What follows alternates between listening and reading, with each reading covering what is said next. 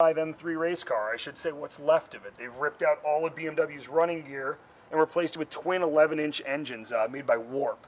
This thing's going up uh, Pikes Peak Hill Climb. Boris Said's the name driver, although with the race change, we'll see what happens.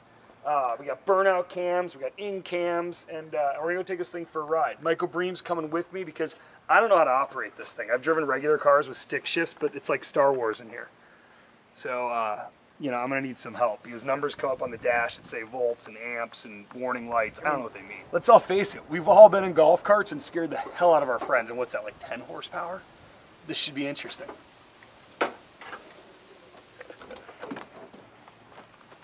Oh, this thing is comfy, man. My cars are so small.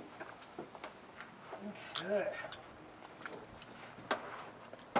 All right, so uh, I've never been in an electric car before, other than golf carts.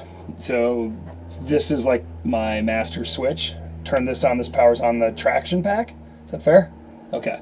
So traction pack on, and then now I come over to Star Wars over here, and flip the starter and the ignition up. Yep. Flip this up. Yep. Whoa.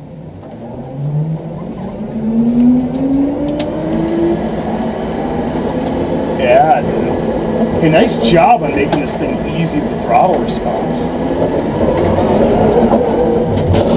Oh my god, is that the tire burning out? Wow! Oh my god,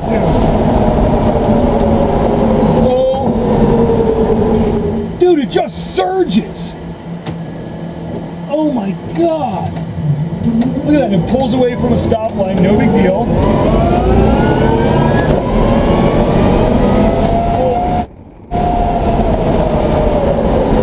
Oh,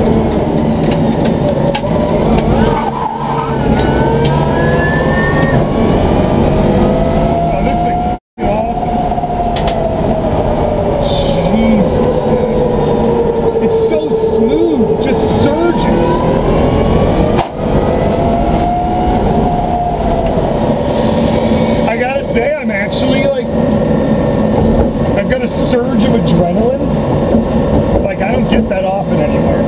Like, you know, your fingertips get light and your, your foot pedal's a little nervous.